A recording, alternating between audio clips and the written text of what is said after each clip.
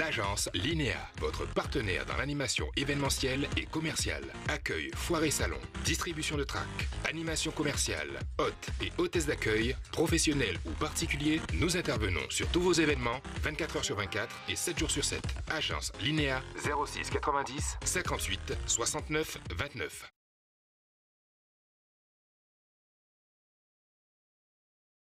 Il est plus facile de changer les pansements que de penser le changement.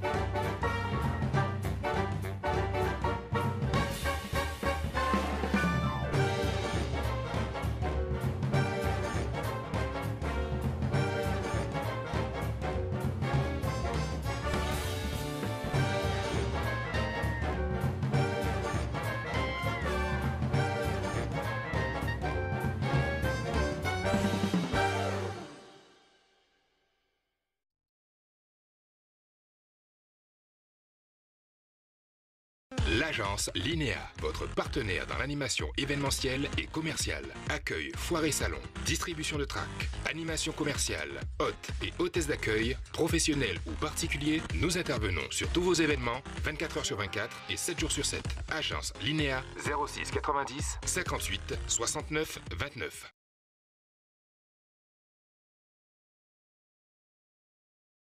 Il est plus facile de changer les pansements que de penser le changement.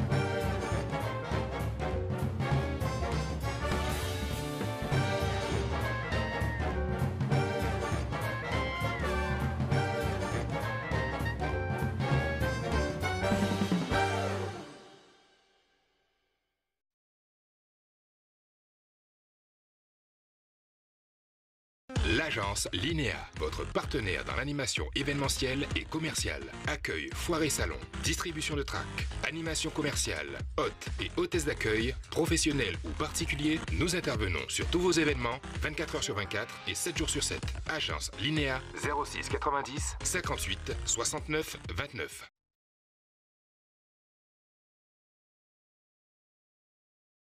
Il est plus facile de changer les pansements que de penser le changement.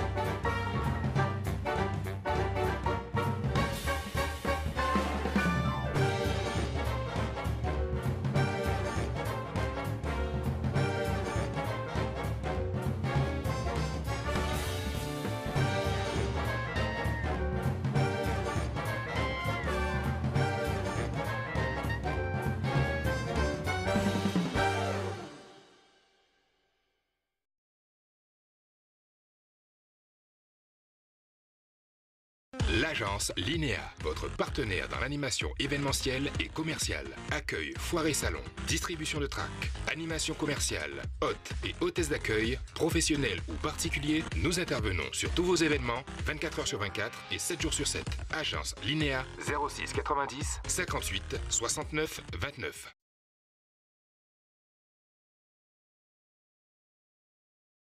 Il est plus facile de changer les pansements que de penser le changement.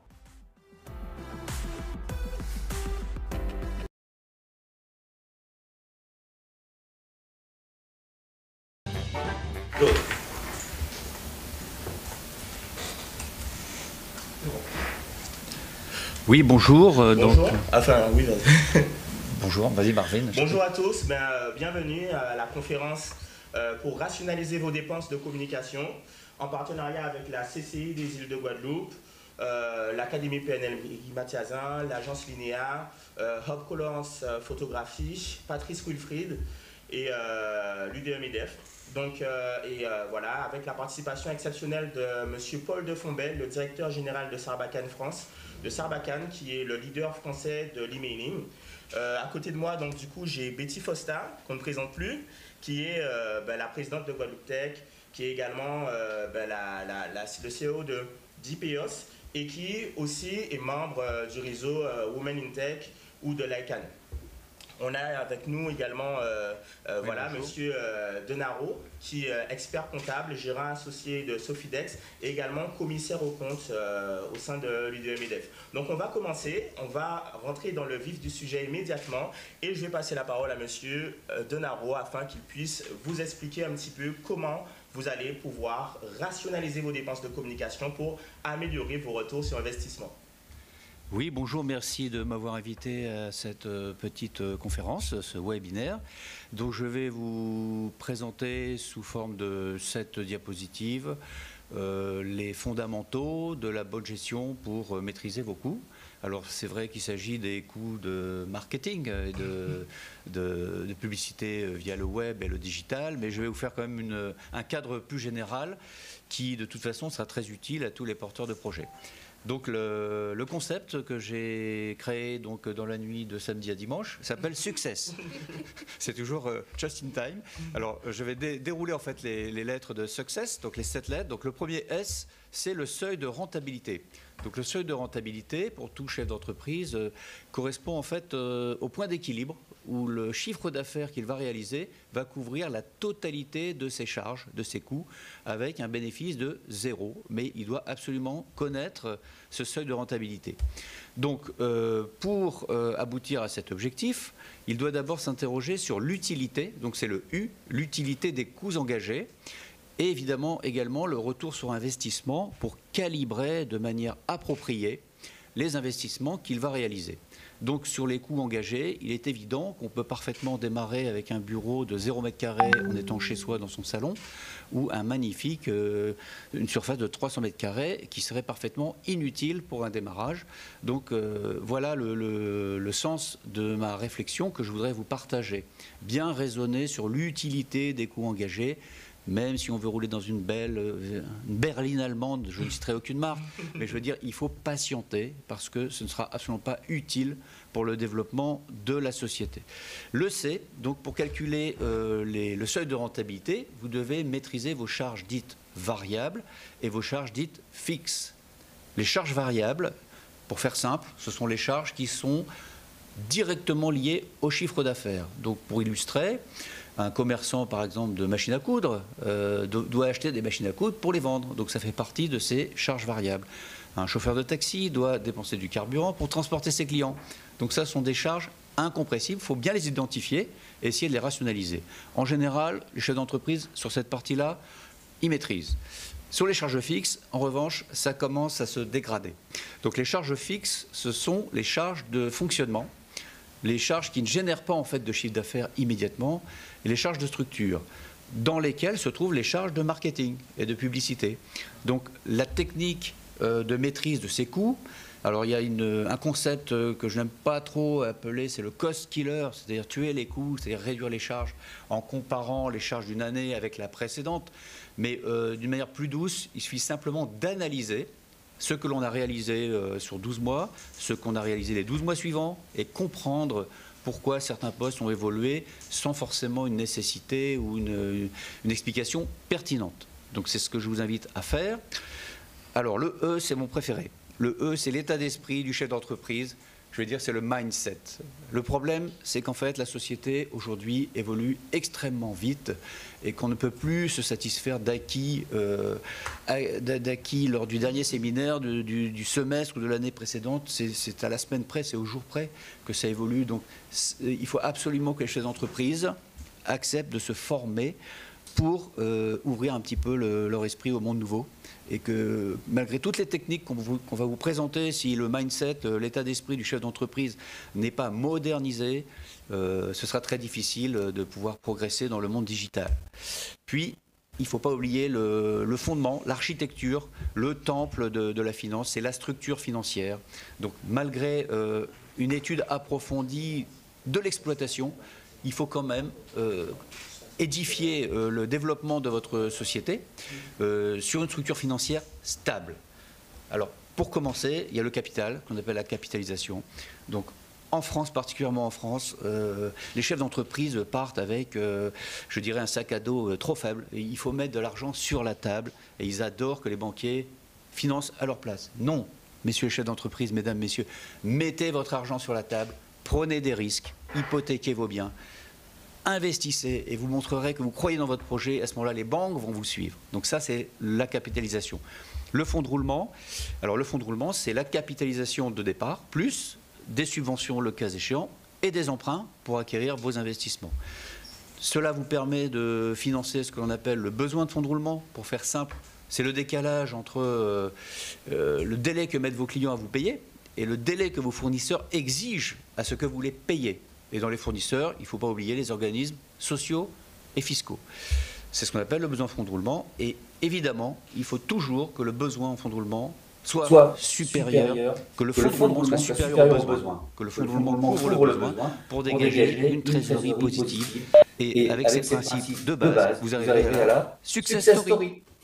Bravo, vraiment, j'espère que vous appréciez euh, euh, voilà, la démonstration de success voilà, de, M. Denaro. Euh, voilà, c'est vraiment des bases, des fondements assez importants pour pouvoir gérer votre, votre trésorerie, rationaliser vos dépenses et améliorer votre communication.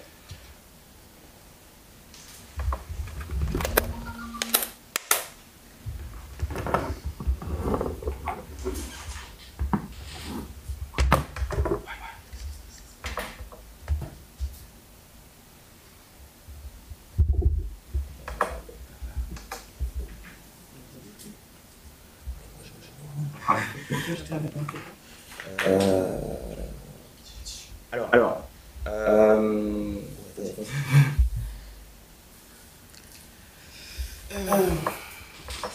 les essences euh, ouais, les essences de Letty. Essence là, de On va intervertir. On pas ce slide de Letty. C'est tout, elle descend en bas. Ah, ok, c'est Ouais. Ouais.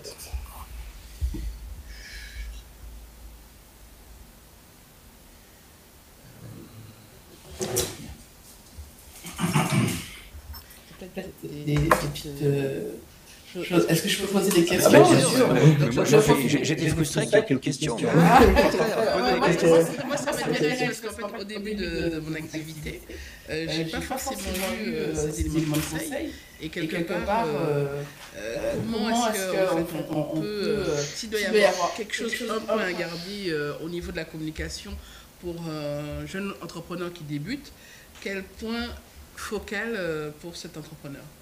Je dirais c'est le, le seuil de rentabilité. Il doit connaître le chiffre d'affaires qu'il doit faire dans une année, dans un mois, dans une semaine, dans une journée, pour arriver à l'équilibre et ne pas euh, naviguer euh, à vue et au doigt mouillé. Ça, c'est absolument pas possible. Le seuil de rentabilité, c'est la base. Merci beaucoup. Ok, bon, voilà. Il y a eu un léger impair. Alors, je vais vous présenter, euh, moi, euh, les différents canaux digitaux et quelques points clés, facteurs de succès pour pouvoir bien euh, réaliser votre communication avec, en maintenant vos coûts le plus bas possible et en ayant un retour sur investissement le plus important possible. D'accord? Donc, cette intervention va durer approximativement 10 minutes et elle va commencer par l'avantage des canaux digitaux. Donc, je vais vous expliquer un petit peu c'est quoi la différence entre euh, les canaux digitaux et les canaux traditionnels et pourquoi en fait les canaux digitaux sont très intéressants à mobiliser pour euh, atteindre son, son pour euh, dépasser son seuil de rentabilité, rentrer dans les bénéfices plus rapidement, mais aussi pour pouvoir voilà maintenir ses charges fixes plus basses. Alors Ensuite, je vais vous partager quatre, facteurs, clés de succès pour mieux réussir votre communication en ligne. D'accord? Alors, six facteurs clés en réalité, avec deux en bonus pour pouvoir vous permettre d'arriver à cet objectif-là. D'accord? Alors, En premier lieu, justement parce que dans notre époque, ben, il est devenu euh, plus difficile d'anticiper qu'auparavant. On parle aujourd'hui qu'on est dans une époque euh, VUCA, ça veut dire en gros une époque où euh, les changements sont plus rapides, où l'évolution est volatile. Ce qui se passe en Chine a des répercussions en Guadeloupe, en France, en Belgique. Et donc, euh, il est important pour nous ben, de savoir aller plus vite, d'être agile et de s'inspirer un petit peu du monde dans lequel on, vit, de la nature, pour créer des euh, solutions pertinentes, pour créer un cercle vertueux pour réussir au sein de son entreprise. D'accord? Alors ici, vous voyez, vous avez tout un tas de canaux euh, publicitaires de canaux que vous pouvez utiliser pour faire votre communication. D'accord? Et on va euh, aborder quelques points qui sont très importants pour réussir. Le premier, c'est créer une symbiose. Alors la symbiose, c'est important, c'est simplement l'interaction et le bénéfice de l'interaction long terme que vous allez avoir avec d'autres personnes, donc qui peuvent être justement vos clients, euh, vos prospects. Et cette symbiose est absolument importante aujourd'hui puisque euh, les consommateurs, les clients sont à la recherche vraiment euh, d'une relation pérenne, de choses qui sont bonnes pour, pour elles dans la vie. Et on est vraiment en quête de ce lien-là. D'accord? Alors l'avantage des canaux digitaux, vous voyez que par exemple ici, eh ben, les canaux digitaux sont interactifs. Est-ce que vous avez déjà essayé d'être en symbiose, en parfaite harmonie avec quelqu'un et vous êtes la seule personne à parler? C'est pas possible. Si vous voulez être en harmonie avec quelqu'un, il faut que la personne puisse échanger, que vous puissiez lui parler et qu'elle puisse également vous répondre. Et là, l'avantage en fait des canaux digitaux, c'est qu'elle vous donne la possibilité d'interagir avec votre audience. D'accord? Un autre point qui est très important, c'est l'agilité.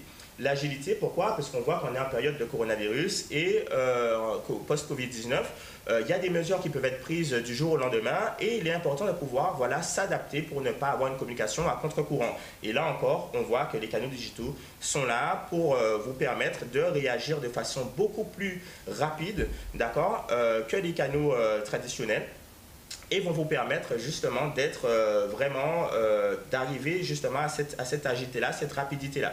D'accord? Euh, Je vais donner un exemple rapide en termes d'agilité. Là, justement, si aujourd'hui vous voulez faire une campagne de 4 par 3, d'accord? Une grande campagne pour annoncer un produit que vous venez de lancer. voilà, donc vous allez vous y prendre à l'avance, vous allez contacter une imprimerie, vous allez sortir des BAT, etc. c'est très bien et moi je n'en je n'en disconviens pas. Maintenant, euh, imaginez que après demain, le gouvernement décide que tel type d'établissement, et malheureusement le vôtre, doit être fermé. D'accord? Eh bien, ce qui se passe, c'est que malheureusement, si vous voulez ajuster votre communication, à ce moment-là, euh, vous voulez euh, peut-être décaler simplement la date d'un événement que vous avez prévu, ça va être trop tard, ce sera trop tard puisque malheureusement ben, tout sera déjà imprimé, vous n'allez pas pouvoir réagir. D'accord? Eh ben, Lorsque vous faites par exemple une communication email, Bien sûr, vos clients auront déjà reçu cet email-là, mais vous aurez possibilité rapidement d'en envoyer un autre en disant voilà, euh, la situation a évolué et donc aujourd'hui, ben, ce que je vous propose, c'est euh, euh, de décaler cette date, de telle date, ça passera à telle date, voilà les mesures qu'on a prises, voilà la dernière promo qu'on a faite. D'accord? Et puis, deux autres points importants, faire avec ce qu'on a et faire avec peu. D'accord? Faire avec ce qu'on a, c'est on a une base de contact. Euh, lorsqu'on gère une entreprise, on a les clients nous envoient des emails, euh, on a des liens avec euh, les autres, d'accord? Et donc il y a certains moyens, il y a certaines fois c'est possible vraiment d'utiliser les actifs qu'on a. Et au lieu d'aller acheter, investir en permanence sur des leviers qui vont permettre de progresser, il est très important de regarder déjà en interne ce que vous possédez comme valeur, puisque la base de données c'est très important pour pouvoir eh ben, euh, grossir, grandir et vous développer. D'accord? Et puis également, les canaux digitaux vont permettre de faire avec moins, je ne vais pas dire euh, euh, faire avec rien, mais faire avec moins, puisque avec un coût mensuel qui peut être relativement bas, vous allez pouvoir ben, faire une communication globale à une population très large. D'accord? Alors, pour progresser, je vais juste faire un petit topo très très rapide sur la stratégie euh, et l'état d'esprit en fait de la communication euh, en ligne pour pouvoir euh, mieux exploiter ses, dépenses, c'est un fameux cycle qu'on appelle construire, mesurer, apprendre. En fait, ce fameux cycle-là, il va vous permettre de bien structurer votre pensée pour réussir. Donc, construire, c'est par exemple votre campagne d'email, vous créez votre email, d'accord? Et les outils digitaux vont vous permettre toujours d'avoir des statistiques précises sur quelles sont les personnes qui ont interagi, comment elles ont interagi, et d'apprendre en fait de ça pour pouvoir améliorer par la suite votre communication. Donc maintenant, je vais rentrer dans un axe beaucoup plus pratico-pratique pour vous montrer ces fameux six points qui vont vous permettre d'améliorer votre rentabilité et de rationaliser vos dépenses de communication. Quelques points que j'ai identifiés auprès des chefs d'entreprise guadeloupéens grâce au fait que je suis consultant et que j'interviens auprès de, pas mal d'entreprises de toute taille, hein, petites, moyennes et grandes entreprises. Et ces points-là, ce sont les points clés qui reviennent très souvent. Alors, je vous demande d'être attentif et je vais vous présenter ces points. D'accord? Le premier, c'est la personnalisation. Personnalisation, personnaliser euh, euh, l'objet, l'objet d'un email. Vous voyez, c'est le petit, euh, là où c'est écrit Marvin bénéficier de moins, moins 15%. C'est ce qu'on appelle l'objet d'un email. D'accord? Donc l'objet, c'est ben, simplement la petite ligne de texte pour dire ce dont il va être question. D'accord? Donc ça, c'est très important puisque selon une étude réalisée par Sarbacane, c'est le principal facteur d'ouverture d'un email. Donc l'objet, quand il est personnalisé, quand il est propre, eh ben, ça va permettre aux personnes d'ouvrir votre email. Et souvent, euh, les, objets ne sont pas clairs et donc euh, votre email passe à la trappe en quelque sorte. Un autre point que j'ai voulu euh, aborder, c'est personnaliser l'objet. Alors l'objet, il y a une spécificité. L'objet, c'est qui envoie. il est très important de le, de le personnaliser, de mettre qui vous êtes lorsque vous faites un email. Pourquoi? Parce qu'en Guadeloupe, l'important, c'est la personne. Souvent, on dit la marque, c'est la personne. C'est vrai qu'on a beau marteler le nom de son entreprise, euh, beaucoup de personnes ben, insistent à dire, voilà, c'est l'entreprise de Monsieur Y ou Madame Z, parce que voilà, il y a un fort attachement à la personne. Donc ici, c'est très important d'avoir un objet personnalisé pour qu'on identifie clairement qui envoie l'email. Et si vous avez une, une, boîte qui est très forte et dont l'image de marque est vraiment puissante, à ce moment-là, vous allez indiquer le nom de l'entreprise. D'accord? Ensuite, un des points qui est vraiment très important, c'est la segmentation. La segmentation, c'est essentiel dans le marketing. Euh, c'est ce qui va vous permettre simplement de catégoriser des personnes en fonction soit de qui elles sont, soit en fonction de leur comportement. Donc ça, c'est bien parce qu'une communication doit être adaptée. Quelqu'un qui reçoit une communication qui n'est pas adaptée à elle, non seulement euh, ça, ne va pas la toucher, ça ne va pas lui permettre euh, ben, de, passer à l'action et d'avoir une valeur pour votre entreprise, mais également, ça peut avoir l'effet inverse, c'est-à-dire que ça peut l'embêter et donc malheureusement, si vous embêtez les gens, au bout d'un moment, ils vont se désinscrire. Euh, et quel que soit le canal de communication, c'est très négatif pour votre image de marque. Donc la base, vraiment, c'est ce qu'on appelle la segmentation. Donc comment ça marche? C'est quoi la segmentation concrètement? C'est simplement le fait de ranger ses contacts en catégories, d'accord? Et ici, on a par exemple la première catégorie prospect, d'accord? Vous allez rédiger un texte pour vos prospects. Un exemple concret, si aujourd'hui vous voulez euh, parler d'une formation eh ben, euh, que des personnes n'ont jamais été euh, clients auprès de vous, vous allez déjà présenter qui vous êtes, ce que vous faites, comment votre expertise va pouvoir les aider et par la suite, vous allez présenter votre offre. D'accord? Vos clients, vous connaissent déjà, donc ce n'est pas, pas nécessaire de se représenter à l'infini, sinon ça va simplement les embêter. Donc vous allez rédiger un autre texte qui va peut-être ressembler au premier, mais là, du coup, voilà, un peu plus léger, un peu plus light, auprès de vos clients. Et puis, un troisième, par exemple, vous allez rédiger un texte pour vos ambassadeurs. Les ambassadeurs, c'est qui? Les ambassadeurs, ce sont ceux qui vous portent, ce sont ceux qui vont parler à toutes les personnes de leur entourage de euh, ce que vous faites, euh, qui vont vous valoriser partout. Et les ambassadeurs, c'est très important. Il faut vraiment les soigner. Et ces personnes-là, ben, on peut leur faire des emails euh, même, même à la main, c'est-à-dire pas forcément via un logiciel. Et si vous les faites via un logiciel, vous allez utiliser le tutoiement, vous allez leur envoyer par exemple une communication en amont avant que les autres soient en courant. Et c'est vraiment quelque chose d'important. Donc voilà. Alors, un autre exemple, c'est le ciblage comportemental. Donc ça aussi, c'est très important. Euh, et c'est une autre façon de voir qui va vous permettre de cibler les personnes en fonction de ce qu'elles ont, des actions qu'elles ont menées. Si vous faites une communication SMS, par exemple, les personnes qui n'ont pas ouvert, euh, par exemple, votre précédent, euh, votre précédent email, par exemple, ils n'ont pas ouvert votre précédent email, vous pouvez très bien envoyer une communication auprès de ces personnes-là. C'est-à-dire qu'elles n'ont pas vu, donc vous pouvez relancer votre communication sous un autre angle, ça ne posera pas de problème, d'accord? Mais surtout pas renvoyer une communication à tout le monde, comme ce qui se fait très souvent, alors que en fait ça va juste embêter les trois quarts puisque les trois quarts ont peut-être déjà ouvert et vu ce dont vous alliez parler. Pareil, euh, c'est le même principe, euh, vous pouvez envoyer une com à ceux qui ont déjà ouvert votre communication ou ceux qui ont peut-être déjà cliqué et qui n'ont pas acheté forcément votre produit en ligne. Euh, voilà, donc il y a des façons de, de, de, connecter vos sites internet par exemple, de connecter vos différents médias entre eux pour pouvoir enrichir en fait cette, euh, cette, cette, cette base de données-là, ces, segments-là, pour faire en sorte que vous, euh, vous communiquez de façon la plus pertinente possible et de façon la plus individualisée possible auprès de vos clients ou prospects. D'accord? Alors, un autre moyen de rationaliser ces dépenses de communication, c'est de fédérer. Comme par exemple, créer un groupe Facebook. Ça, c'est vraiment très intéressant. Parce qu'en fait, en créant un groupe sur Facebook, c'est un moyen de fédérer. En fait, aujourd'hui, il n'y a pas de résilience sans communauté. Donc, si vous n'avez pas vraiment des personnes, donc euh, beaucoup d'ambassadeurs, des personnes qui vous portent vraiment euh, dans leur cœur et qui veulent vraiment que euh, votre développement et qui sont très attachés à votre marque, malheureusement, en situation difficile, vous n'allez pas pouvoir progresser. Alors, lorsque vous créez un groupe Facebook, donc c'est totalement gratuit, ça va donner l'opportunité aux autres, d'accord, de donner aux autres. Parce que l'un des principes fondamentaux, c'est l'attraction, c'est-à-dire que c'est donné. Si on ne donne pas, on ne reçoit pas. Et c'est un concept qui a été de toute façon euh, donné par Seth Godin il y a plus très longtemps déjà aussi.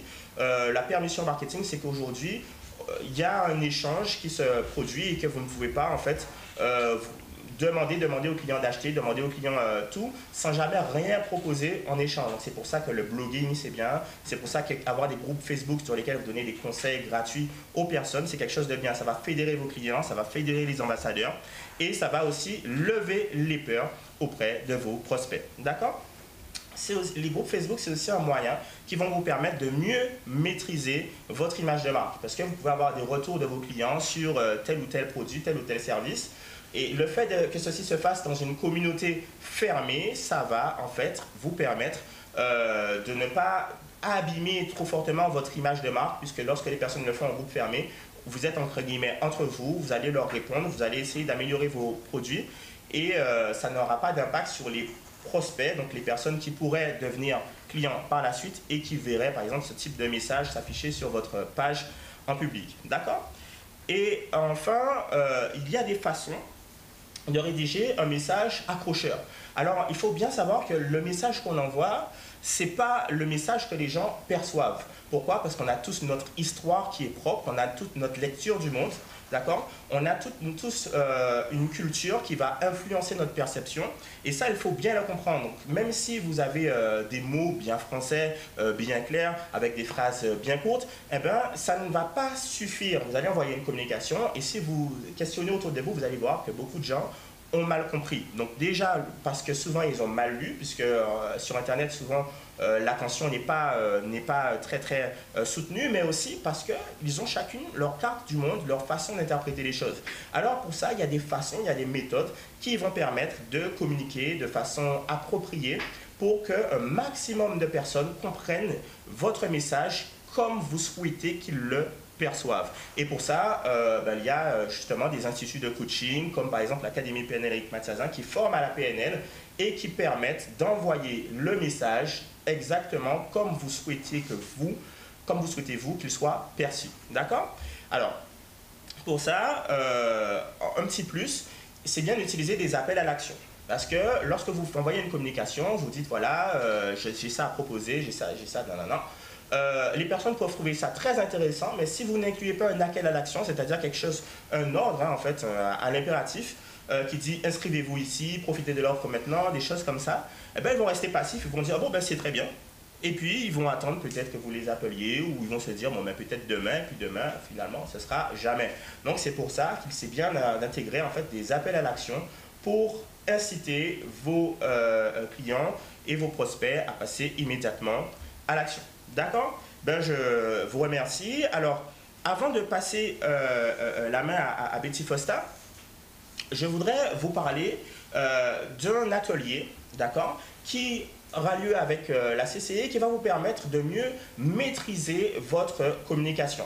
D'accord Donc, en, en rationalisant vos dépenses, vous allez pouvoir envoyer des messages sur WhatsApp, envoyer des messages par email à vos clients, en personnalisant les emails exactement comme je vous ai montré, faire euh, séparer votre base clientèle en prospects, clients ou selon leur comportement. D'accord? Vous allez également savoir comment euh, atteindre vos objectifs, mieux atteindre vos objectifs commerciaux grâce à des techniques, des méthodes très simples qui vont vous permettre d'améliorer cela et aussi de fédérer votre audience parce qu'on a vu qu'il n'existe pas de résilience sans communauté. Donc grâce à cet atelier, d'accord, qui aura lieu le 22 d'accord, euh, de ce mois, vous allez pouvoir, avec la CCI des îles de Guadeloupe, euh, apprendre en une journée d'accord Avec en plus des ateliers qui seront en libre accès, d'accord, en, ligne, vous perfectionner et puis apprendre des techniques pour être efficace et rationaliser vos dépenses de communication et atteindre mieux vos objectifs. Voilà. Je vais passer la main à, à Betty Fosta pour qu'elle puisse vous donner quelques axes pour pouvoir vous améliorer votre communication. Bonjour à tous. On va voir ensemble euh, quelques éléments de communication ou euh, d'outils de com avec des solutions open source, puisque IPOS, euh, ma société, est une entreprise qui est spécialisée en solutions libres et open source. Donc, c'est cette approche-là que l'on va développer pour parler de communication. Et j'évoque bien la question aussi de ces premiers outils de com parce que j'ai une pensée particulière pour euh, les jeunes entrepreneurs ou ceux qui se lancent dans l'aventure parce que ce n'est jamais facile. Et euh, quand on y va, on y va euh, avec les, dents, le couteau, on n'a pas grand-chose. Et donc, quelque part, les premiers conseils, ça peut être des armes ou ça peut valoir de l'or. Donc, c'est important de le comprendre. juste comprendre en fait lorsque, au niveau de l'IPO, je ne vais pas forcément évoquer la, chose. Travailler sur les projets de recherche et développement, euh, ne pas s'axer uniquement sur le présent, penser l'innovation, c'est quelque chose qui apporte quelque chose à sa communication. Si vous avez une communication qui est plate, euh, linéaire, sans, sans particularité, vous ressemblez à tout le monde, euh, ben, si vous ressemblez à tout le monde, vous ne vous distinguez pas des autres, donc vous passez à côté. Donc c'est important. Donc avec le libre, vous avez quand même des, possibilités d'innover. De, à, très faible coût.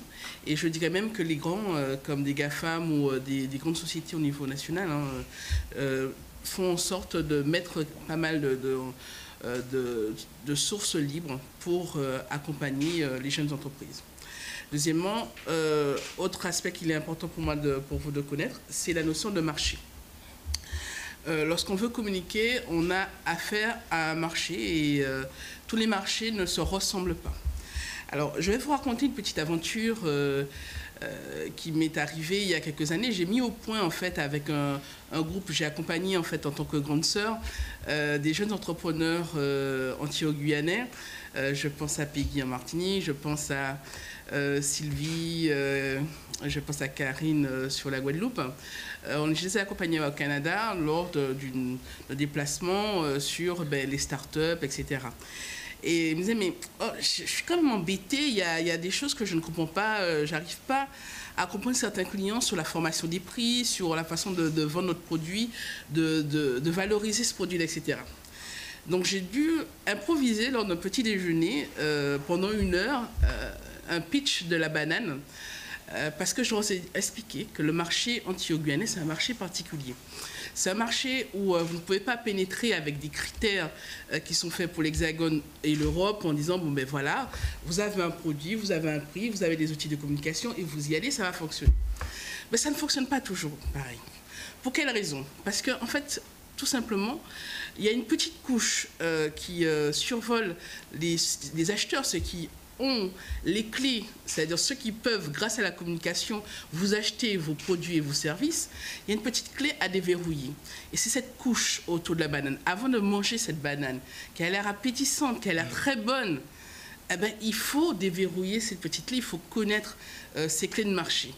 Alors, quelques éléments de clé pour, au niveau de la communication. Euh, première chose, je dirais avant tout, avant d'apprendre à connaître son client, il faut se connaître soi-même, c'est-à-dire euh, ben, connaître son positionnement, son produit, qui en est, ses forces, ses faiblesses. Donc c'est quelque chose de très important. Et à partir de là, on peut toucher l'autre et euh, au niveau des, euh, entrepreneurs anti-guyanais, ils sont très exigeants et très conservateurs. C'est-à-dire qu'ils ne changent pas de crèmerie comme ça. Ils ne changent pas, euh, entre guillemets, d'opérateurs de communication ainsi. Il faut les toucher, il faut leur donner des raisons de vous faire confiance. Et ces raisons-là, c'est à vous de les matérialiser euh, par, par des gestes. Ça peut être des gestes financiers par rapport à vos produits et services. Ça peut être une approche d'expérimentation.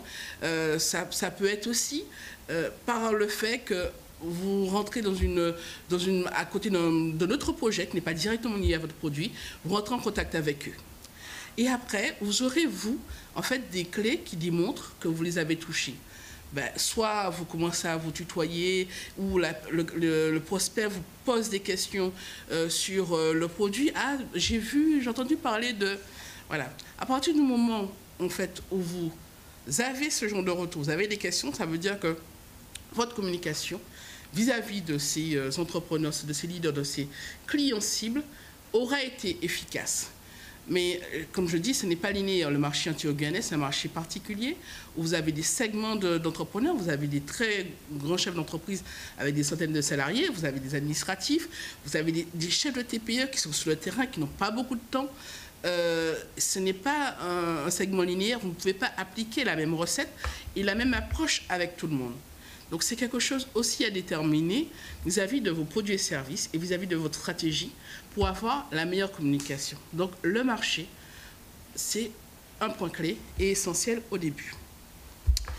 Deuxième élément à savoir, c'est que euh, vous avez au niveau mondial, en français, en anglais, dans des centaines de langues à travers le monde, des outils formidables pour euh, vous permettre d'être efficace à moindre coût. Il se trouve que l'open source est un modèle économique qui est arrivé au niveau de l'informatique et du système d'information et qui a totalement bouleversé la donne. Pour quelle raison? Parce que avant vous aviez en fait une logique, vous avez euh, certains logiciels propriétaires où, où, entre guillemets tout l'argent remontait à eux, mais on arrive à une logique entre guillemets plus coopérative, c'est-à-dire que je ne savais pas dire, attention, je, vais quand même préciser quelque chose. Logiciel libre open source, ça ne veut pas forcément dire gratuit. Il y a quand même des logiques d'édition, il y a des logiques de sécurité, de maintenabilité, euh, d'évolutivité et d'innovation dans les logiciels libres. C'est juste que dans la façon dont on conçoit le système d'information et l'informatique, on n'est pas, euh, on a une partie de notre code qui est proposé à l'ouverture, à la collaboration. On se dit que ce code qui est mis à sa disposition, on peut faire en sorte de l'augmenter, de l'améliorer, etc. C'est pour ça que vous avez vu qu'il n'y a pas si longtemps, depuis ces trois dernières années, Microsoft, qui était vraiment le, premier euh, opposant à cela, a investi des milliards dans l'open source. Pour quelle raison? Parce qu'il se dit, mais je me retrouve avec plein de problèmes de sécurité, plein de failles. Euh, sur certaines couches d'outils, moi, je serais bien content d'avoir la communauté open source qui s'intéresse à mon cas. Bon, ça c'est quelque chose. Donc c'est un modèle, c'est un monde qui s'ouvre euh, dans lequel il faut comprendre un petit peu les logiques. Vous avez les systèmes, euh, les operating systems, donc, en gros, si au lieu d'avoir Windows XP, Windows 10, ou vous avez iOS, enfin, vous avez un système d'exploitation qui est open source, donc vous avez pas mal qui sont accessibles à des, non-informaticiens, qui sont accessibles à des personnes qui ne connaissent pas grand-chose d'Internet, comme Ubuntu. Euh, mais vous avez pour les enfants et du Ubuntu, en fait, pas mal de solutions qui existent et qui vous permettent, en fait, avec ce système d'exploitation, d'avoir à côté un tas de logiciels qui sont accessibles pour l'éducation, pour le développement, pour la communication, etc. Vous avez des outils comme Inkscape pour faire euh, de la transformation d'images. Euh, il faut savoir quand même qu'au niveau du monde de la communication, les trois quarts des sites Internet, des, applications mobiles, sont des outils qui sont open source. Donc, euh, bon, quelque part, ce combat euh, qui, on va dire, derrière garde libre, propriétaire, est terminé. Au niveau de la communication, le libre, l'open source, a gagné globalement. Mais c'est à vous, en tant que chef d'entreprise ou porteur de projet, de trouver les bons outils. Donc, ne vous enfermez pas dans une logique open source ou propriétaire, trouver les bons outils et les bons partenaires pour avoir une communication efficace. Donc, il faut comprendre que dans votre prise de décision, ce qui va compter, c'est quand même votre stratégie interne et les bons partenariats. Il peut vous arriver d'avoir en fait euh, des euh, partenaires euh, forts qui font en sorte d'être, d'avoir une solution propriétaire, mais c'est dans votre stratégie ou la stratégie que vous apportez pour un client, même si ce, partenaire est propriétaire, travaillez avec ce partenaire parce qu'il vous permettra d'atteindre pour votre client en fait une stratégie de communication efficace. Donc j'espère que vous avez compris que ce n'est pas des oppositions, mais bien entendu une logique entre guillemets de collaboration en forme de toile d'araignée ou plutôt d'arbre, de rhizome, comme le dirait en fait la créolité qui est euh, fondamental pour euh, Édouard Glissant, qui est un auteur antillais, qui parle de cette créolisation du monde qui est nécessaire. Je pense qu'au niveau du système d'information aussi, cette réalisation est nécessaire pour une communication efficace et hybride. Je dirais, pour aller dans, dans, le sens qu'indiquait Marvin, qu'il faut communiquer simplement pour ses clients et pour soi-même, dans le sens où c'est pas la peine d'avoir des jargons compliqués pour certaines cibles. Euh, c'est pas la peine de s'enfermer euh, dans une logique. Euh, si on n'a pas beaucoup d'argent, on n'a pas forcément. Euh, au départ, on peut commencer par envoyer via sa messagerie des petits mails simples, en sachant qu'il faut être limité. Parce qu'attention, si vous utilisez votre messagerie pour envoyer des milliers de mails, vous savez quoi? Vous allez être blacklisté au niveau de votre serveur. Donc vous allez avoir le retour du bâton où euh, votre mail ne pourra plus envoyer quelques mails que ce soit et ça c'est pas bon. Donc c'est pour ça qu'on vous invite à utiliser des outils. Donc vous avez Sarbacane ici, mais vous avez aussi d'autres outils qui existent. L'essentiel c'est de trouver le bon partenaire pour, euh, euh, envoyer vos mails réguliers, en sachant que la notion de mail c'est quelque chose d'assez large. Hein. Vous avez des mails qui sont à usage de message unique, mais des mails qui ont un usage plus informatif et donc qui doivent avoir un côté euh, créatifs qui sont importants. Communiquer simplement aussi, ça veut dire qu'il faut trouver la bonne dose. Vous avez dans votre portefeuille de clients parfois des clients qui sont peut-être euh, très euh, pro-produit ou très pro-service, qui ont peut-être... Il faut apprendre à doser et, au niveau de la communication. C'est-à-dire que vous pouvez envoyer une communication qui ne plaira pas à tout le monde, vous le savez. Mais, euh, mais ça veut dire que votre message doit être simple et clair pour que même celui qui n'est pas intéressé puisse comprendre et se dire, je suis peut-être pas intéressé à l'instant T, mais à T plus 2, T plus 3, je peux l'être. Ça, c'est important. Marvin évoquait la question de, de base de données que l'on peut avoir, à savoir que c'est important de se rendre compte euh, qu'il ne faut pas partir sur... Euh, il faut tuer certains coûts, comme dit euh, le comptable, en partant pas sur des dépenses acheter des bases de données, euh, des, je sais pas, des milliers d'euros, alors que vous pouvez avoir sur des clientèles cibles des partenaires, des gens que vous avez, ben, exploitez mieux votre peut-être votre base de données personnelle vers une partie professionnelle. Respectez par contre euh, des, règles par rapport à ces envois-là, parce qu'il y a énormément de règles autour des envois, donc il faut les respecter. Communiquer simplement et professionnellement, ça veut dire euh, prendre en compte les messages que vous allez envoyer, euh, mais n'oubliez pas vers qui vous envoyez ces messages. Ça, c'est très, très, très important. Et ne faites pas les choses compliquées. J'aime beaucoup cette logique américaine. Keep it simple and stupid. C'est-à-dire que si n'importe qui avec un niveau lambda comprend, c'est que votre message est bon. Si vous faites alambiquer, euh, ça va vous faire plaisir, euh, vous allez vous faire plaisir, vous allez vous mousser tout seul, mais vous serez seul dans le coin et le retour, la transformation, vous ne l'aurez pas. Ce n'est pas possible avec des messages compliqués. Pour finir, je dirais que l'un des points de la communication, c'est de, de, gérer la notion de mensualisation et d'externalisation. Il n'y a que 24 heures dans une journée en tant que chef d'entreprise, vous pouvez vous dire, bon, ben, euh, soit j'ai une équipe, ben, je vais embaucher euh, euh, une community manager, responsable de site de e-commerce, un, responsable de mon système d'administration, etc. Mais vous allez les faire avec quel budget? Parce que ces personnels, il faut les recruter. C'est entre 20 et 60 000 euros par an. Vous n'avez pas les budgets pour tout ça.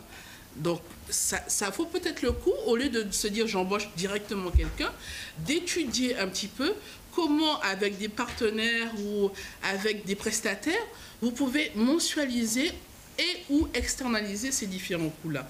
C'est vraiment indispensable d'y penser. C'est-à-dire que cette communication, ça se maîtrise, euh, au niveau euh, financier, mais c'est aussi quelque chose qui se travaille. Et ne pensez pas de votre côté euh, trouver la solution seul. Discutez-en et cherchez les bons partenaires. Merci. Ben, C'était une très belle intervention, très belle intervention de, Betty Fosta. Et elle a parlé d'utiliser les bons outils. Alors, les bons outils de communication, c'est très important. Et justement, on a ben, quelqu'un ici qui nous a fait l'honneur d'être là aujourd'hui. Donc c'est euh, Monsieur Paul de Fombelle, c'est le directeur général de Sarbacane. Et c'est un outil, Sarbacane, qui permet d'envoyer des emails à ses prospects ou clients. D'accord? Alors, nous avons reçu de nombreux messages de votre part euh, pour, à destination de Monsieur de Fombelle, puisque les, dirigeants euh, se posent des questions. Donc déjà, bonjour Monsieur de Fombelle. Bonjour, bonjour à tous. Voilà, alors je vais simplement vous poser quelques questions que voilà, des chefs d'entreprise membres de la CCI, membres du MEDEF, se posent pour savoir comment ils vont faire pour ben, améliorer leur chiffre d'affaires et rationaliser également leurs dépenses. Ils se posent une question simple, euh, mais qui mérite quand même d'être répondue. Ils se disent, voilà, euh, nous ne sommes pas, euh, certains se disent qu'ils ne sont pas très très forts en informatique, ils ont, ils des connaissances de base. Est-ce que c'est fait pour eux? Est-ce qu'avec Sarbacane, votre logiciel, un chef d'entreprise qui vient de, de voilà, qui, qui vient de s'y mettre vraiment dans l'informatique, qui sait envoyer des emails, qui sait naviguer sur Internet, mais qui n'est pas non plus un as en informatique, peut lui-même euh, envoyer des emails, faire de la prospection et réussir euh, raisonnablement avec cet outil-là. Oui, je crois. En fait, je vais d'abord peut-être réagir sur vos, sur vos interventions auparavant. Euh, Marvin, Stéphane, Betty, vous avez tous trois axé votre discours sur des problématiques de bon sens. Et nous sommes très, très attachés à cela chez, chez Sarbacane. Je crois que vous avez raison de partir dans cette, euh, cette direction, euh, puisque quelle que, quelle que soit les, la façon d'aborder l'usage d'un outil ou la création de valeur en général, il faut d'abord savoir rester euh, les pieds ancrés dans le sol et pour faire des choses qui soient à sa, à sa hauteur, à sa portée et atteindre le succès. C'est exactement comme ça qu'on essaye tous les jours de penser Sarbacane. Sarbacane, c'est une équipe d'une centaine de personnes sont répartis entre, on est au nord de la France, à Lille, et chez nous c'est déjà l'hiver, et, euh, Barcelone, où il fait un peu plus chaud. Et euh, le, les, nos équipes euh, travaillent essentiellement sur deux très grands sujets. Le premier sujet, c'est l'optimisation de notre outil, de notre interface, pour réussir à, apporter des fonctionnalités très avancées et ne jamais perdre la notion de simplicité d'usage. Je crois que je réponds à la, question de ce point de vue-là. Est-ce que quelqu'un de débutant avec pas nécessairement des grandes ressources marketing, une équipe de professionnels des canaux digitaux peut utiliser Sarbacane La réponse c'est oui. Notre outil est pensé vraiment pour cela, avec un très gros travail. Je peux dire d'ailleurs que globalement, c'est une de nos distinctions claires sur, un, sur ce marché qui commence à être assez ancien. Il existe de très nombreux outils de, d'email marketing, très nombreux outils pour faire des, campagnes email ou SMS ou même maintenant du marketing automatisé. Et mmh euh, le, nous, nous, nous tarons d'être parmi les, les tout meilleurs pour ce qui est de, de la facilité d'usage. Et ensuite, j'ajouterai un point qui est notre différenciation la principale en réalité, c'est qu'un outil, quelle que soit sa qualité, quelles que soient les fonctionnalités avancées qu'il propose et euh, les tutoriels, le, design euh, bien pensé, reste un outil. Et il y a un moment donné, on peut, faire, on peut avoir des très mauvais résultats avec un très bon outil. La, question, c'est qu'est-ce que l'on en fait? Et pour bien l'utiliser, il y a deux choses à, faire qui rejoignent beaucoup les conseils que vous avez pu donner jusqu'ici. La première, c'est euh, prendre le temps de, réfléchir à faire les choses bien, euh, ne pas aller trop vite, euh, être patient, segmenter, c'est-à-dire avoir un message différent pour chacun et, parler au bon moment aux bonnes personnes. Et donc, première chose, investir un peu de son temps pour penser les choses bien en fonction de son métier. Et la deuxième chose, c'est être accompagné et recevoir des conseils. Une chose est de bien connaître son métier, et je suis certain que tous ceux qui assistent à, ce webinaire sont des experts chacun sur leur métier. Une autre est de savoir utiliser euh, des, canaux qui vont pourtant faire la différence dans la capacité à développer une activité. Et euh, c'est là où nous, on, on, a eu conscience de cela. Au départ, on est d'abord des éditeurs de software, d'abord on a une vision technique du sujet, on a eu envie de développer des fonctionnalités. Ça a été le début de notre longue histoire. Mais depuis de, maintenant de nombreuses années, nous savons que ça ne sert à rien d'aller offrir un outil formidable si à côté de ça, nous ne sommes pas à la disposition des utilisateurs pour pouvoir les aider. Donc ça, c'est une distinction forte.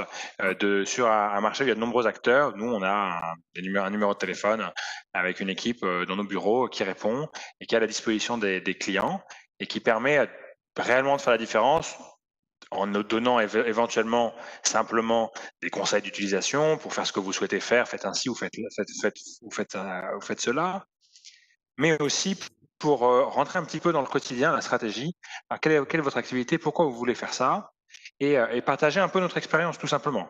D'abord parce qu'on aime ça. on, travaille depuis de, maintenant de nombreuses années avec beaucoup de clients et on est vraiment content d'échanger avec eux pour grandir avec eux. Et ensuite, parce que voilà, aujourd'hui, nous travaillons avec, avec des grands groupes, mais aussi beaucoup, surtout beaucoup de, PME et d'entrepreneurs. Presque sur, sur Sarbacane, c'est un peu plus de 9000 clients. On a quelques autres produits à côté, mais on parle de 9000 organisations d'entreprise, des services publics aussi, qui travaillent avec nous. Et ça nous donne une, certain, un certain, une certaine expérience, c'est le moins qu'on puisse dire. On voit passer tous les jours des, des, euh, campagnes, on parle toujours avec des clients, et il y a des, des leçons qu'on peut retenir et qu'on peut partager. Donc voilà, est-ce que c'est accessible euh, à tous en particulier des débutants? La réponse c'est oui, c'est au cœur de notre vocation d'aller euh, participer à la, croissance des entreprises à tous leurs stades. D'accord.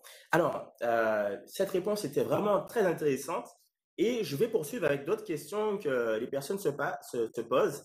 Euh, les chefs d'entreprise se posent, ils se demandent est-ce que, puisqu'ils savent rédiger, ils pensent être très intéressés par les, l'atelier du 22 octobre avec euh, la CCI, sur lesquels on va un petit peu les, accompagner sur Sarbacane. Et ils veulent savoir en amont déjà, euh, avec Sarbacane, est-ce que le message peut être joli? Parce qu'ils n'ont pas de compétences de, de, graphisme ni rien. Et lorsqu'ils écrivent, par exemple, avec leur mail, euh, sans nommer de nom, euh, voilà, euh, ben, ils trouvent que c'est pas très joli et ils veulent que les choses soient attrayantes. Pourtant, ils n'ont aucune compétence là-dedans. Est-ce que Sarbacane permet aux chefs d'entreprise d'envoyer un message qui soit visuellement attrayant? Parce que c'est très important aussi oui, alors oui, clairement, on peut utiliser, il y a une galerie de templates, des images, des façons professionnelles de faire les choses. Je vais essayer d'être un peu moins bavard sur cette réponse que sur la suivante, peut-être en donnant sur la précédente, peut-être en mmh. donnant simplement un truc euh, qui pas encore très euh, diffusé puisqu'on en est au tout début. On n'a pas encore fait de campagne de communication là-dessus. Mais en primeur, vous pouvez tester un outil que nous avons lancé euh, qui s'appelle Smart Templates, comme modèle intelligent. Smart Templates, qui est accessible dans Sarbacane, mais aussi même en direct. Vous pouvez le faire maintenant depuis votre téléphone. C'est assez, assez ludique. Smart-templates.com. Le concept, c'est que vous rentrez simplement l'URL de votre site et on génère des templates en fonction de différents usages directement, des emails professionnels directement pour cela. Des emails qui sont déjà pensés pour se voir sur, euh, sur téléphone ou sur, euh, ou sur ordinateur, pour qu'ils soient donc responsive et adaptés à au design pour la totalité des destinataires. Euh, jouer avec, vous allez, vous allez voir ce qu'il en est. C'est effectivement ludique pour ça. Mais l'idée, c'est pas de l'amuser. L'idée, c'est d'atteindre un résultat efficace, beau en l'occurrence, en très très très peu de temps. Parce que nous savons qu'une des valeurs clés un des capitaux les plus importants dont, nos utilisateurs ont besoin, c'est de gagner du temps. D'accord. Alors, sinon, il y a Eric qui demande, euh, un chef d'entreprise européen, et qui demande euh, comment il peut faire pour euh, améliorer ses résultats au fur et à mesure. Parce qu'ils disent, d'accord, les statistiques, moi, moi je ne suis pas statisticien, il n'est pas très bon là-dessus. Et il se demande comment il va faire pour améliorer ses campagnes au fur et à mesure du temps sans compétences particulières en mathématiques? C'est intéressant. Comme sans mesure du résultat, il n'y a pas de succès ou d'échec. Hein. De toute façon, on a besoin de, on a besoin de, métriques pour euh, aller à un moment donné s'assurer de, de, la valeur de ce que l'on fait. Euh, ceci dit, il n'y a pas besoin d'être mathématicien. Je pense qu'une des clés, c'est, euh, je le disais tout à l'heure, c'est le bon sens. Donc, c'est deux choses. La première, c'est le résultat final. C'est-à-dire qu'on peut, avec, euh, avec un, outil de, outil comme Sarbacane, on peut savoir quel pourcentage des gens ont ouvert, quel pourcentage des gens ont cliqué, quel niveau de réactivité, comment est-ce qu'ils ont lu, si c'est plus qu'avant, plus qu'après, et, un, nombre de statistiques très avancées. Moi, j'aime bien aussi ramener les choses au réel et dire, voilà, pourquoi est-ce que vous avez fait cette campagne? Si vous avez décidé à un moment de, donner de faire une campagne pour aller faire lire un contenu qui est important pour votre marque ou pour vos clients, combien de est-ce qu'il a été plus lu que, que que, que ce qu'auparavant? Est-ce que vous avez atteint votre objectif? Est-ce que vous avez fait, si vous avez lancé une campagne simplement parce que vous vouliez promouvoir et vendre votre nouveau produit, est-ce que vous avez eu des ventes? Voilà. Donc il faut, faut, ramener les choses un peu à la, à la simplicité et, euh, et, juger cela. Si jamais on ne souhaite pas rentrer dans un niveau de détail parce qu'on n'a pas forcément le temps ou pas forcément les compétences, eh il faut rester sur le, les points essentiels, le résultat final. D'accord. Alors, euh, donc il y a Sylvie qui a une communauté euh, de clients et qui se demande quel pourrait être l'intérêt pour elle de faire des communications par SMS, puisque Sarbacane fait de la communication SMS, donc par email et également par SMS, et elle, elle communique sur WhatsApp avec ses, clients, avec sa base, avec sa communauté, ça fonctionne très très bien, et elle se demande quel est l'intérêt pour elle d'envoyer des SMS à l'heure où de plus en plus WhatsApp permet d'améliorer euh, la fidélité de sa clientèle. Comment euh, vous pouvez lui expliquer l'intérêt du SMS mmh. aujourd'hui? Je ne vais pas forcément me, battre. Euh, si elle a des bons résultats avec euh, WhatsApp et que c'est cohérent avec la communauté, je ne vais pas lui chercher à vendre, quelque chose dont elle n'a pas besoin. Euh, le WhatsApp a, potentiellement une qualité de reach, c'est-à-dire la possibilité de parler à une communauté, qui est extrêmement satisfaisant et beaucoup moins coûteux que le SMS. Donc, ça, c'est du bon sens. Les limites de WhatsApp sont doubles et ne la concernent sans doute pas. La première limite de WhatsApp, c'est la dépendance à un canal qui appartient à Facebook et qui peut se fermer un peu du jour au lendemain, en particulier pour la communication professionnelle. Et la, le deuxième problématique de, WhatsApp, c'est que ça ne correspond pas forcément à tous les métiers et tous les usages. Il y a, des, communautés de, clients cibles qui ne sont pas forcément tous utilisateurs. Mais donc voilà, mon conseil à Sylvie, c'est de lui dire non, aujourd'hui, vous n'avez pas de raison nécessairement de partir de WhatsApp. Profitez de, de cette ressource qui est probablement pertinente aujourd'hui. Attention, euh, pour euh, une construction à long terme, on est sur une technologie propriétaire euh, qui est avec les bons vouloirs de la, de la, des conditions générales de Facebook. D'accord. Et, et, alors, en termes de, sécurité, euh, alors, est-ce que Sarbacane, en fait, certains chefs d'entreprise se demandent est-ce que c'est sécurisé? Est-ce que le fait d'entrer leur base de données euh, personnelles à l'intérieur d'un logiciel, ils ne se mettent pas en danger, puisqu'ils ils gardent jalousement leur base de données en interne parce qu'ils ont peur, et je peux leur, les comprendre, euh, du vol de données, du piratage, etc. Quels, sont les risques et, comment Sarbacane permet de dépasser ça? Ils ont absolument raison. Les bases de données de nos clients et leurs contacts sont, je le disais tout à l'heure, parmi les éléments les plus importants du capital de notre entreprise. En plus de ça, à l'heure de la législation sur les données personnelles, nous avons toutes les entreprises une responsabilité dans la conservation et la sécurité des données personnelles de nos clients, prospects et contacts. Euh, c'est pour ça qu'il faut travailler avec des entreprises très sérieuses pour ça, s'en assurer, euh, prendre garde à la législation c'est un investissement qui a été euh, très significatif et très coûteux pour nous, même auparavant, même avant le RGPD, euh, puisque nous avons en interne aujourd'hui trois personnes qui s'occupent de problématiques de sécurité, de, de juridique et de délivrabilité. ce dernier point, qui a un jargon un petit peu, un petit peu laid de notre, de notre métier, tous les métiers ont des jargons. c'est un défi pourtant très important, c'est la capacité à, faire en sorte que les messages qui sont envoyés dans des quantités assez importantes parviennent en boîte de réception, ne soient pas bloqués par les filtres anti-spam. C'est un enjeu de réputation d'abord, mais c'est un enjeu technique aussi. Et donc, et pour ça, nous avons une équipe de professionnels qui travaillent. Pourquoi est-ce que je fais la petite parenthèse sur ce métier spécifique à l'email? C'est parce que pour être performant sur ces sujets-là, il fallait bien avant les problématiques de législation sur les données personnelles être irréprochable sur la gestion des données. Et nous, avons eu la chance, en réalité, d'être euh, très en avance sur ces problématiques-là, puisque nous n'avions pas le choix. C'était au cœur de nos métiers auparavant. Les acteurs sérieux qui ont pu durer depuis longtemps sur ce marché sont ceux qui n'ont jamais pris la moindre liberté avec les données de leurs utilisateurs et qui ont même garanti pour eux leur sécurité. C'est, ce serait nous tirer une terrible balle dans le pied que de, que de, que de contrevaloir à, à, cette, à ces valeurs. D'accord. Ben, en tout cas, on vous remercie vraiment mille fois et pour votre, pour votre présence aujourd'hui. Donc, euh, la visioconférence, euh, le live stream va prendre fin. Donc, on vous remercie encore euh, mille fois. Et je vais dire à tous les abonnés, à toutes les personnes qui regardent, qu'à la suite de, de, cette visio, vous allez tous recevoir un lien, vous allez recevoir un email récapitulatif avec un lien qui va vous permettre de facilement et rapidement euh, de, déjà de, remplir un formulaire d'intérêt, simplement pour pouvoir euh, ben, par la suite euh, vous inscrire à l'atelier que nous proposons sur comment mieux rationaliser ses dépenses de communication et, fidéliser une clientèle, mais également un petit lien pour pouvoir installer Sarbacane et commencer à l'utiliser puisque pendant une certaine période c'est gratuit. Essayez Sarbacane et commencer déjà à toucher un petit peu à l'outil. avant notre atelier du 22 qui va vous permettre vraiment de passer à une nouvelle dimension. Donc je vous remercie encore Monsieur euh, Paul de Fombelle. On remercie effectivement tous nos partenaires et puis ben, on se dit très certainement à très bientôt.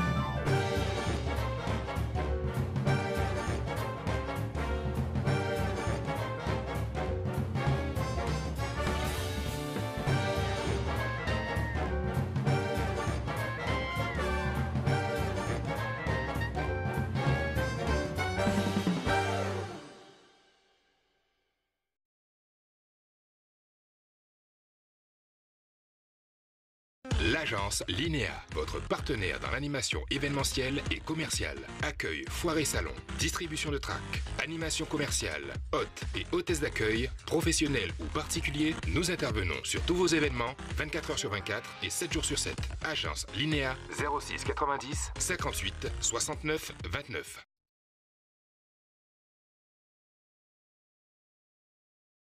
Il est plus facile de changer les pansements que de penser le changement.